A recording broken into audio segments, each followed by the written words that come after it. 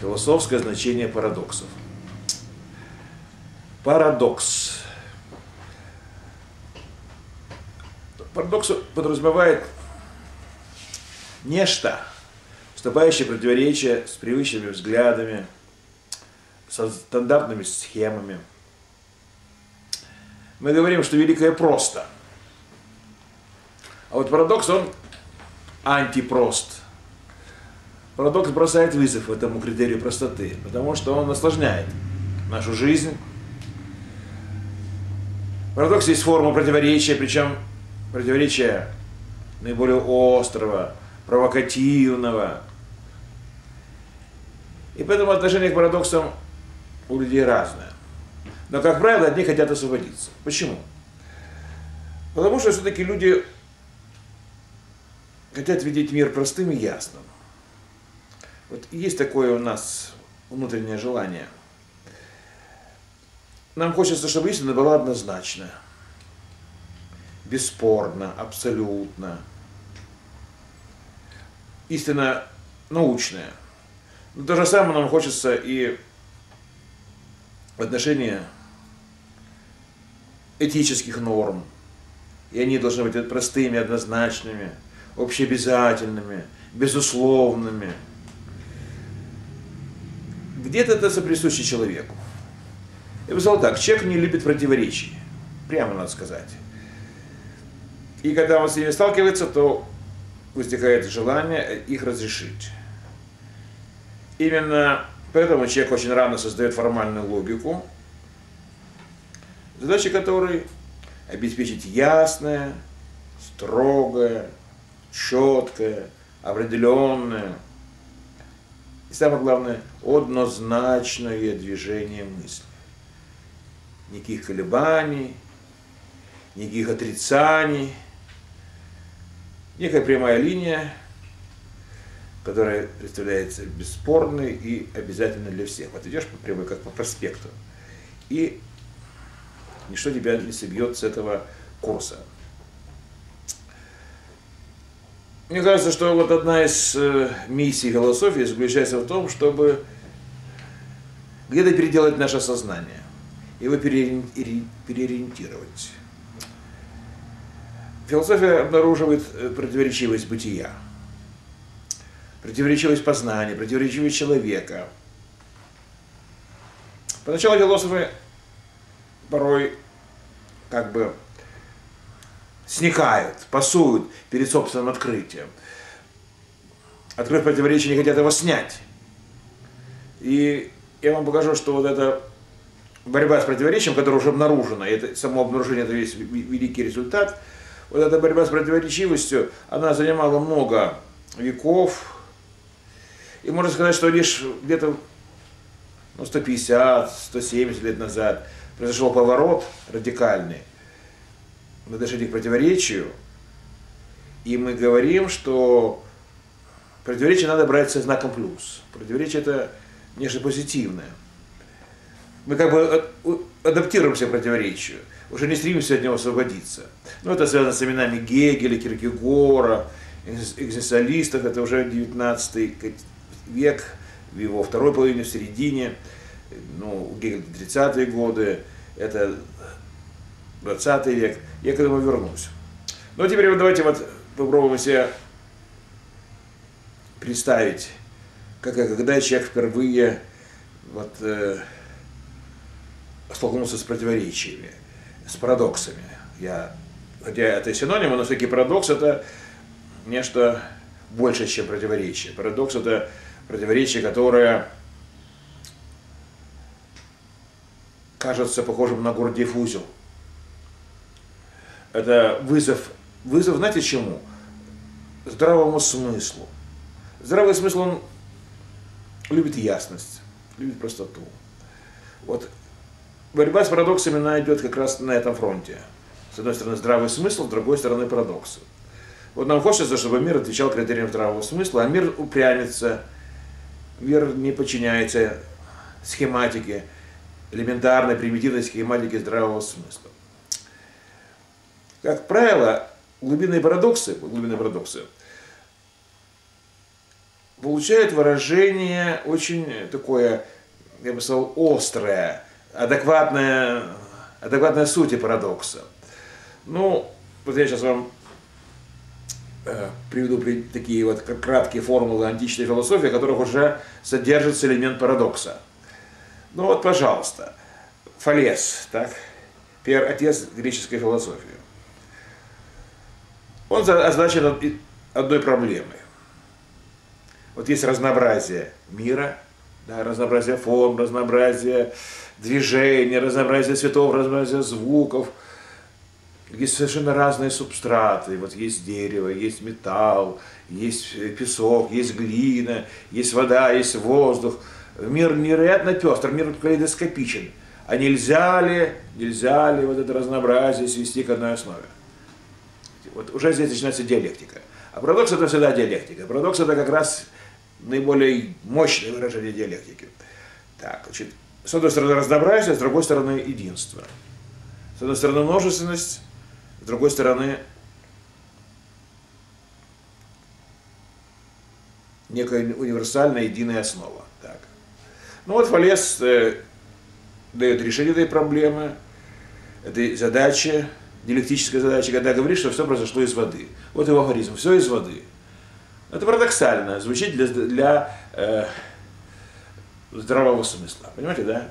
Почему все из воды? Неужели железо из воды? Неужели свинец из воды? Неужели медь из воды? Неужели мрамор из воды? Вы чувствуете, что тут бросается вызов от схематики здравого смысла. Но вообще-то Фалес прав, потому что действительно все разнообразие химических элементов можно свести к водороду. Водород – это составная часть воды, вы помните формулу воды. Видите, э, какая красивая формула, она парадоксальна, конечно. Парадоксальна, да? Вот, все из воды, сказал Фалес. И этим положил начало великой традиции. Обращаю ваше внимание, что здесь вот звучит это местоимение «все». Парадоксы, как правило, стремятся к э, всеобъемлемости, к всеохватности. Что такое всеобъемлемость, всеохватность? Это целая картина мира. Это универсум. И вот, пожалуйста, сложнейший универсум, сложнейшая целостность сводится, редуцируется к простому началу, к воде. А вот еще более парадоксальное решение. Это все в рамках происходит малазийской философской школы. Это где-то 6 пятый век до нашей эры.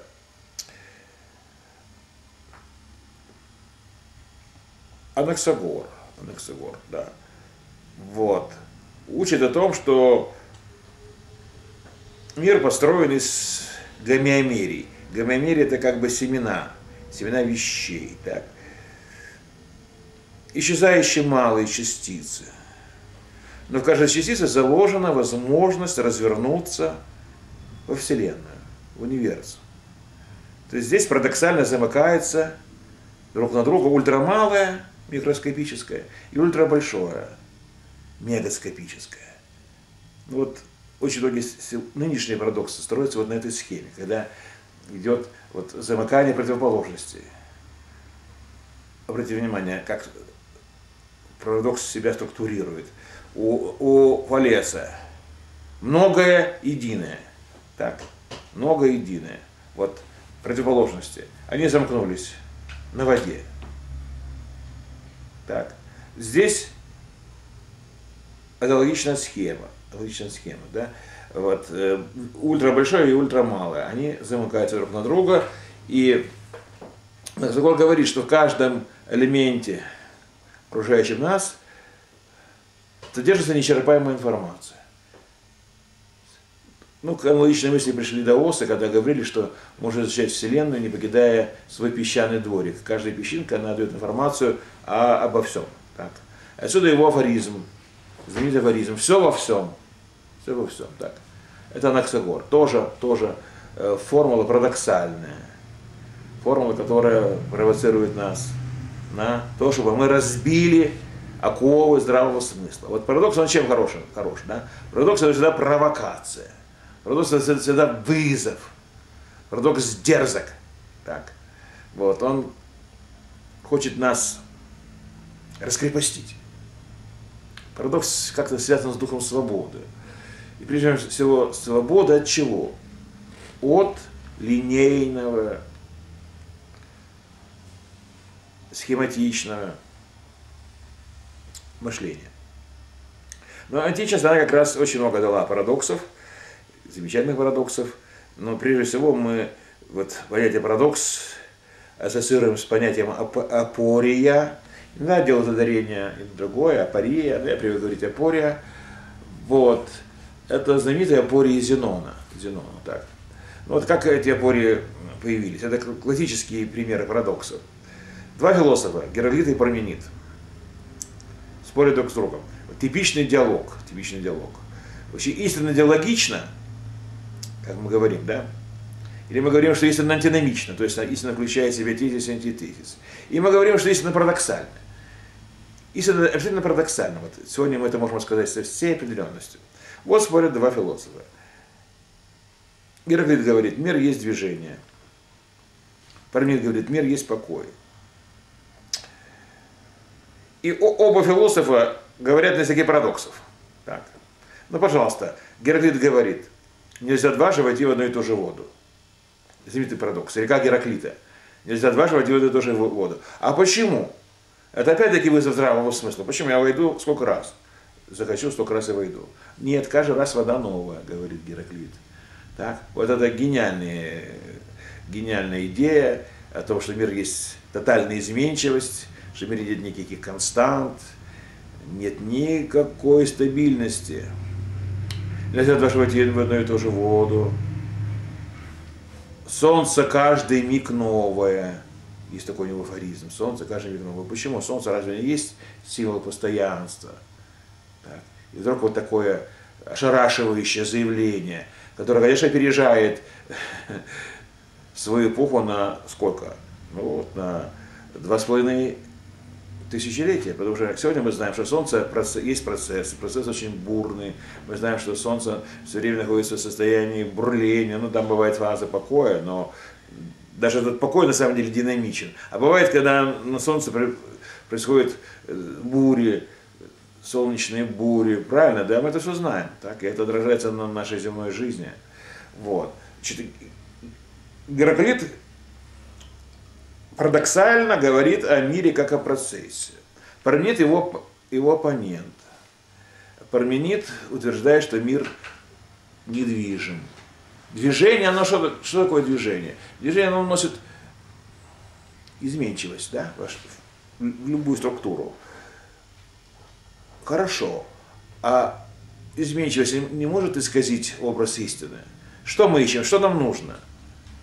Какова цель философства? Истина, да? Истина может меняться, истина может мутировать. Вот он спрашивает Гераклита, да? Истина должна быть постоянно.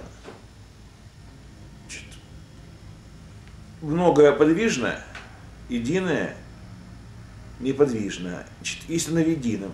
Истина в едином. И вообще все, что мы видим вокруг себя, вот эти движения все, да, бурление, кипение, это иллюзия, это не настоящее, это не подлинное. А нужно смотреть в корень вещей. А в корне покой, а в корне неподвижность. Вопреки чему? Вопреки не только здравому смыслу, а вопреки нашему чувственному опыту. Мы же видим вокруг себя изменения. Нет, это изменения ничего не стоит. Они, используя термин индусов, есть майя, иллюзия, видимость. И вот ученик Парменида Зенон, дабы подтвердить взгляды своего учителя, развивает целую концепцию. Это знаменитая апоретика. апоретика. Ну, слово апоретика, конечно, тогда еще не было образовано. Мы его недавно, так сказать, это слово, понятие ввели философию, значит, а слово апория, апоретика. Вот знаменитая апория Зенона, цель которых доказать, что движения нет – Движения нет. Что движение есть иллюзия. Ну вот знаменитая пория Ахиллеса черепаха. Так? Представим себе стадион, гаревая дорожка, линия старта. Ахиллес начинает бег. Ахиллес символ скорости. Ну, пускай прошло 30 секунд, запускаем вслед черепаху. Но уже вот сама постановка задачи кажется абсурдной. может сложиться впечатление, что Зенон над нами издевается. Тем более вопрос как звучит. Может ли Ахиллес, может ли черепаха догнать Ахиллеса? Здесь просто, я немножко спутал, да. Вначале, вначале выходит э, черепаха, да, черепаха, символ медленного, медленного движения, немножко устал, да, прошу прощения, да. А потом отправляется Ахиллес, понимаете, да? Значит, черепаха 30 секунд проползла, вслед за ней отправляется Ахиллес, символ скорости, символ быстрого бега. Сможет ли Ахиллес догнать черепаху? Понимаете, да? Но как так? Почему нет? Почему нет, да? Что, мы будем делать эксперимент дурацкий, идиотский, да? Будем, значит, э, искать черепаху, искать хорошего бегуна. Вот видите, провокация, провокация. Будто нас дурачат. А теперь мы будем, будем слушать Синона, и он начинает рассуждать. Он говорит так, хорошо. Вот отрезок, разделяющий черепаху и Ахиллеса. Прежде чем черепаха пройдет весь этот отрезок, она должна пройти половину отрезка, одну четверть, одну восьмую, одну шестнадцатую, одну тридцать вторую, одну шестьдесят четвертую, одну сто двадцать восьмую. Дробь уходит в бесконечность. Правильно, да? Дробь уходит, все логично, все логично, да. И вот такое движение вообще не может начаться. Это логические доводы, это логические доказательства, и они безупречны. И до сих пор никто эту апорию Зенона не смог опровергнуть. Именно логика мотивическим путем. Ну, есть способы ее опровержения какие? Ну, физические способы. Вот теперь мы знаем, что существует квант длины, квант длины, так, минимальная длина, длина квантовой, квантуется, вот мы этой длины достигли, все, уже от нее можно плясать, от нее можно начинать, так сказать, на, еще можно начинать настоящий бег и, и расстояние набирать, какие, какие тебе нужны. Но суть-то в том, что э, парадокс логический, логический, а не физический. И нету вот пока у нас средств для того, чтобы его разрешить на логическом уровне. Это великий парадокс. Ахиллес и черепаха называется. Вот еще один парадокс Зенона. Стрела. Стрела. Выпускаем стрелу, стрела летит. Так. А летит ли она? Что такое стрела, в, что такое, что такое вот этот, эта картина полета стрелы в, в данный, в, в, мгнов, в объеме мгновения. Каждый миг, каждое мгновение стрела покоится, правильно, да? Но тогда не было такой специальной съемки, вы знаете, о чем я говорю, да, когда можно это вот, вот, летящий объект так снять, что он будет казаться не, не, не размытым, не размазанным, а вот как нечто целое. Да? Логично, каждый момент стрела покоится, каждый момент времени. И вот такое, что э, тогда движение, движение есть сумма покоев. Правильно, да?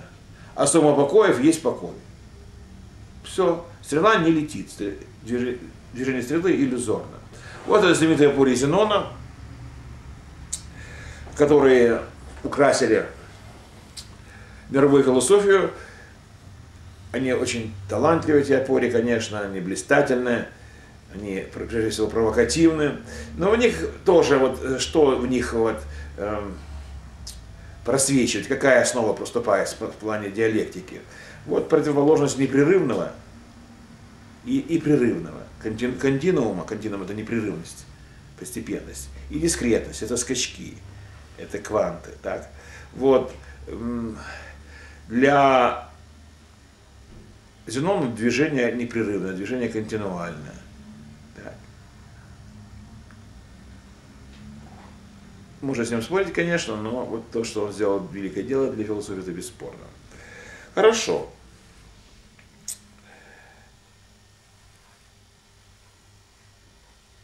Сейчас я хочу вот оставить философию, а как-то вот обратиться к некоторым другим вот идеям греческой философии, к ее образам, э, греческой культуры, к ее образам, к ее архетипам. Хочу обратить ваше внимание на то, что вот многие парадоксы связаны с тем, что явление как бы двоится. Мы видим, что явление включает в себя моменты несовместимые. Парадокс часто строится на этом эффекте несовместимости. несовместимости да? То, что вот э, разделено, разделено, вдруг сталкивается. Сталкивается, связывается в какой-то один узел. узел так. Вот. Парадокс может указывать на двойственность, и двойственность это, это обнаруживать. Мы это скоро увидим. То есть совмещение несовместимого сочетание несочетаемого. Но в этом плане характерны образы, так называемые миксотропные образы, они характерны не только для древних греков, а это вообще э, как бы инвариант всех культур, образы, ну, типа, вот, скажем, я буду брать греческие примеры, да, образ кентавра, так, парадоксально, уже здесь сочетается начало животного, начало человека. Вот. Сочетание, по-моему, очень такое изящное, красивое, или сфинкс – человек и, и лев. Так. Русалка, там ну, у, у них были тритоны, да, тритоны, так. У нас условно русалки. Полу, полурыба, получеловек. Вот очень часто в мире искусства парадокс используется как игра, как игра. Игра, которая призвана расковать воображение, возбудить фантазию. Но вот я замечу, что вот за этими образами стоит уже диалектика, диалектика серьезно, не только игровая, игровая строя здесь просматривается. Но человек на самом деле, вот он э, существо, как мы говорим, биосоциальное, да, человек, да. Человек есть парадокс, я об этом буду много говорить.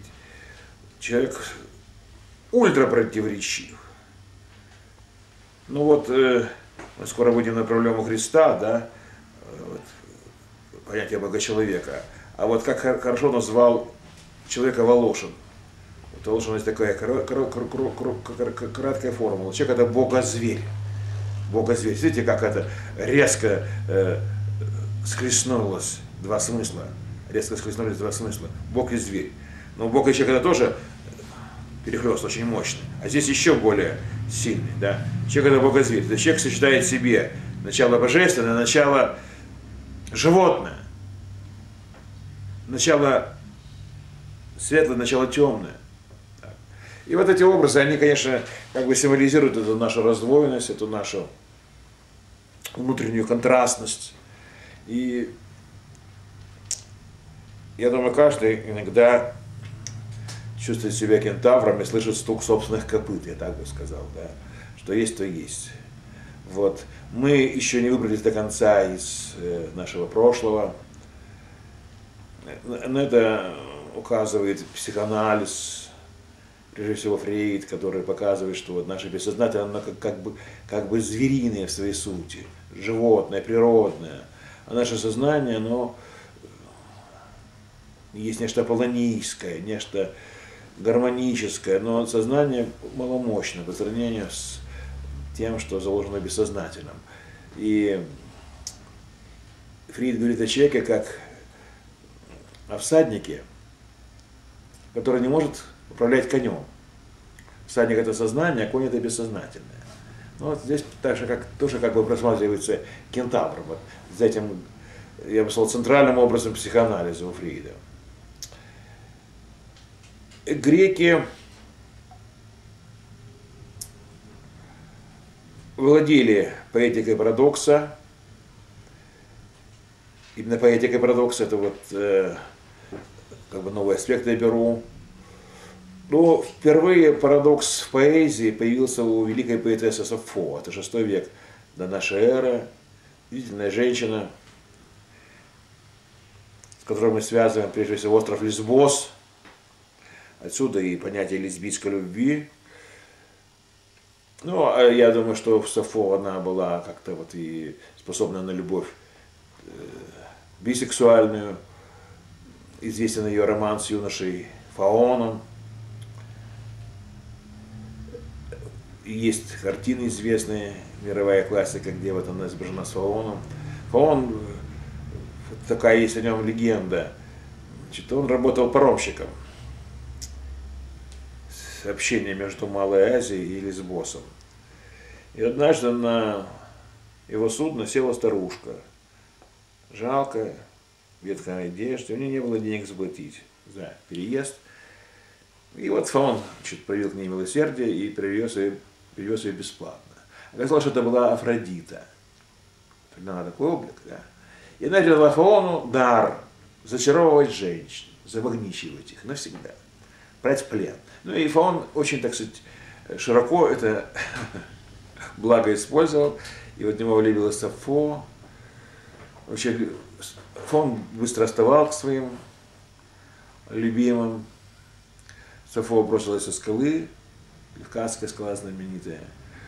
Вот такая трагическая э, история. Но вот э, именно Сафо, она поняла драматизм любви, или даже трагизм любви. И принадлежат гениальные определения любви. Сладко-горькое чудовище. Сладко-горькое. Вот это типичный парадокс. Да. Для такого парадокса есть специальное обозначение – оксюморон. Оксюморон – это парадоксальное сочетание противоположных начал. Оксюморон. Значит, то, что в философии называется парадоксом, то в филологии, в поэтике называется оксюмороном. Да. Я люблю это понять, я его использую очень широко. Оксюморон. Вот. Сладко-горькое чудовище. Диалектика чувств, их неоднозначность, их противоречивость. Вот в этом двойном эпитете, сладко-горькое, да, вот эта диалектика проявилась на уровне поэзии. Я хочу сказать, что очень широко используют оксюморон поэзии 20 века. Вот в любом справочнике вы найдете в качестве иллюстрации к понятию оксюморон знаменитые строчки Ахматовой.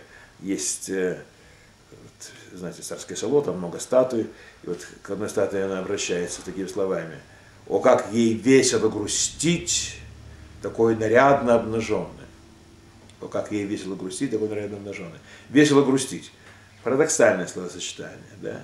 Нарядно обнаженный. Или ты нарядный, или ты, обнаж... или ты обнаженная. Или ты одетая, или ты голая. Вот парадокс, он как раз и сталкивает противоположные смыслы, и это, в этом его сила. И отсюда какие-то новые краски, отсюда какие-то новые нюансы в передаче чего? Отношение человека к миру, самовыражение, эти нюансы диалектические начинают проявляться. И это завораживает, это заставляет задуматься. Вот это очень сильное, си, сильное стилистическое средство. Ну вот сейчас начинаются белые ночи. Белая ночь тоже оксюморон, типичный оксюморон. Ночи белые, да. Так. А такое состояние природы, когда снимается обычные противоположения дня и ночи, вот э, русский север, он прекрасно своими белыми ночами, эту парадоксальность белых ночей прекрасно понимали э, классики Петербурга, и, и, и Пушкин, и, и Достоевский, конечно, да. Вот «Белая ночь воспета», как состояние парадоксальное, когда все двоится, Петербург двоится, душа двоится. Вот это двоение, оно очень-очень поэтично. Вот здесь такой, креста, такой минерал, исландский шпат – ему свойственно двойное лучепреломление. Положишь его на текст, и текст раздвоится. Вот я считаю, что «Белая ночь» в Петербурге похожа на огромный кристалл исландского шпада. И все в Петербурге в это время раздвоено. Тема двойничества – это тема тоже очень интересная и очень глубокая, и она связана с парадоксальностью. Хорошо. Теперь вот давайте вернемся в Грецию и начнем двигаться в сторону христианства. Вот есть прямой контакт античной культуры с христианством. Контакт очень плодотворный. И, наверное, может быть, и христианство имело бы другую форму, если бы не было античной подготовки, античной репетиции к нему. Ну вот приходит э, мир христианства. И сразу начинается парадокс. Сразу, да. Самая парадоксальная религия. Но если парадокс критерий истины, то Значит, христианство, наверное, здесь берет верх по этому критерию. Два понятия возьму христианских, самых главных. Это понятие Троицы и понятие Бога-человека. Ну, у нас уже была речь о но еще раз скажу о том, что Троица есть структура, несовместимая со здравым смыслом, провоцирующая здравый смысл. Троице одно равно трем, три равно одному. Вот великая диалектика. Нераздельность и неслиянность. Говоря иначе, Троица часть равняется целому, а целое равняется счастью, потому что каждая ипостась несет в себе всю полноту божественного начала. Бог не, не, не делится, не дробится, не дифференцируется. И эта, эта троичность, она где-то, ну, где-то она и отчасти, отчасти она и условно, хотя и не условно. Но вот это не есть разделение на три части, как это нам бы хотелось бы мыслить. Здесь все гораздо сложнее, тоньше, диалектичнее. Да? Вот Христос говорит людям, да, я и Отец одно. Как так? Как может себе сын разделять с отцом? Это же разные вещи. А он ставит знак тождества, потому что он вторая ипостась. А каждая ипостась содержит в себе остальные две ипостаси. Естественно, что он был не понял своими современниками, и отсюда его трагическая гибель. Вообще, все христианство – это огромный кровоточащий парадокс. Вот сама сцена распятия, да? Бог на кресте, Бог умирает. Вот все ереси, которые возникли в связи с христианством, вокруг христианства, эти ереси были как раз чем обусловлено? Вот неготовностью, неготовностью сознания принять истину в ее парадоксальной форме. Ну вот вам пример. Арий. Арианская ересь, самая знаменитая ересь. Я думаю, что большинство людей где-то где ариане. Вот Арий, так, он никак не мог вместить в свое сознание тот факт, что в Троице Бог Отец, Бог Сын и Бог Святой Дух, ну, равночестно, как говорят православные мыслители, равночестно, равноправно по-нашему, да? Как так? Разве отец не старше сына, старше и в плане возраста, и старше, старше в плане статуса, статуса, да, веса своего. И вот э, Ари построил модель Троицы, где мы видим последовательность характерную для, для земного мира, а не для вечности. Троица это вечность. Да? Какая последовательность? Вот, верши, на вершине Бог Отец, ниже ступенька это Бог Сын, и еще ниже Бог Святой Дух. Да? Иерархия, причинно-следственная иерархия, отражающая каузальные связи, отражающая временные зависимости. Ну что здесь мы видим, да? Мы видим, что вот сознание Ария не справляется со сложностями и он дает упрощенную редакцию великого догмата, приспособляет его под свои возможности, под свой интеллект. А как учит э, ортодоксальная церковь, я думаю, она ближе к истине, учит о том, что три ипостаси друг другу совечны. Совечны. Вот нужно быть из э, временного потока и прикоснуться к вечности. Вечность не знает понятие до и позже, Раньше, сейчас, потом. Вечности все вместе. Так? И вечности нет вот этой лестницы, которую видел Арий. Вечности есть единство. Так? Есть то, что мы называем совечностью. Совечностью их ипостаси. Вот вокруг Троицы было много споров, и они все они, конечно, вот, инициировались с тем обстоятельством, что принять Троицу – в ее парадоксальной глубине очень непросто. И сегодня Троица это твер, такой твердый камушек для э, нашего ума, нашего ума, да, проникнуться в нее, Троицу, очень и очень непросто. Ну, то же самое понятие Христа, э, понятие Бога-человека, да, Бога-человек, типичный аксиоморон, Бог и человек. Всегда между Богом и человеком мы видели пропасть, разрыв, дистанцию. И вдруг эта дистанция снимается, и вдруг противоположные моменты замогать друг на друга, вот вам симбиоз, невероятный симбиоз Бога и человека. Получается нечто единое, цельное, Христос, воплотившаяся вторая ипостась, воплотившееся Слово. Так что христианство очень и очень парадоксальное, и в этом его, конечно, сила, в этом его мощь. Хорошо.